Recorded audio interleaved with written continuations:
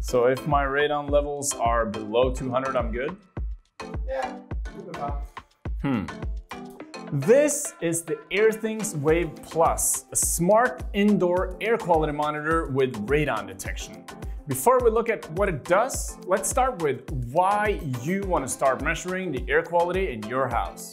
Today, an average person in the Nordics spends about 90% of its time indoors. We're called the indoor generation. Our houses are built more airtight than ever, and in fact, the air inside can be up to 10 times more harmful than the outside air. Scientists even say that poor indoor air quality is the leading cause of headaches, allergic reactions, dry skin, and poor sleep. So should you be scared? Maybe. You should at least consider checking the air quality in your own house. Let's have a look at the different things the Wave Plus can measure. First of all, radon. Radon is a naturally occurring radioactive gas that comes from the soil. And the reason why you want to measure radon is because it's considered the second highest risk factor for lung cancer after smoking. Radon levels fluctuate daily because of wind, air pressure, cold weather, and shifting soil, and it's therefore recommended that you measure radon continuously over a year to get the full picture. Radon is measured in becquerel per cubic meter.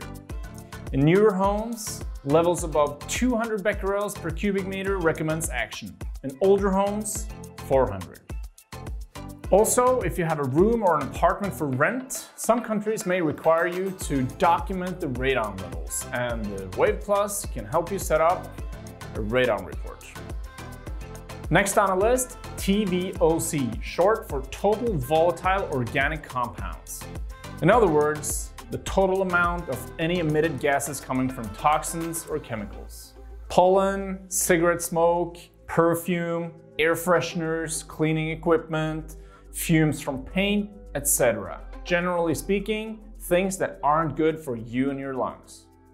The Wave Plus also measures carbon dioxide levels, which will help you understand how much of the oxygen in a room that's been used up, and probably tell you that it's time to open a window. Last but not least, it measures humidity and temperature, two things that are also affecting our everyday well-being. The levels are defined by the World Health Organization and are therefore internationally recognized. To help you understand what's good and what's not good, Airthings will display them together with a color code from green, obviously good, to red, bad. You can also get an immediate level by waving to the device. It's very easy to get started with Wave Plus. Just download the Airthings app and follow the simple process. Everything you need is in the package and you can either mount it on the wall or leave it on a shelf or cabinet. Once you've turned the device on and synced it with your Airthings account, it'll start gathering data immediately. You'll need to give it some time for it to gather enough data to see actual levels. One last thing, the air quality may vary from room to room, so if you want to do a full health check on your house, you may want to consider more monitors. In that case, the Wave Mini measures humidity, temperature, and TVOC, and it's a smaller and cheaper option. Whether you feel there's too much dust in the air, if it's too humid, too dry, there's always something you can do about it.